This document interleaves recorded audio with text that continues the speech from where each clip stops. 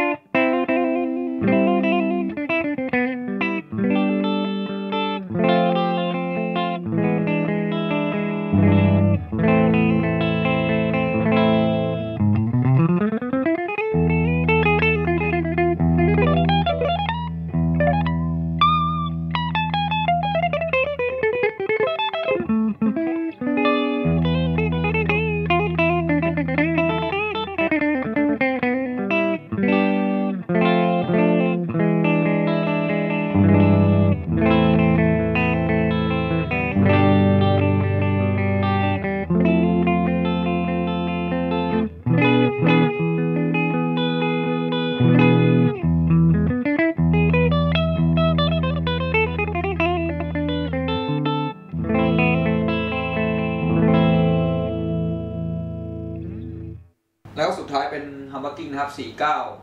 490 อ่านั้นที่ตัวเน็กนะครับอ่า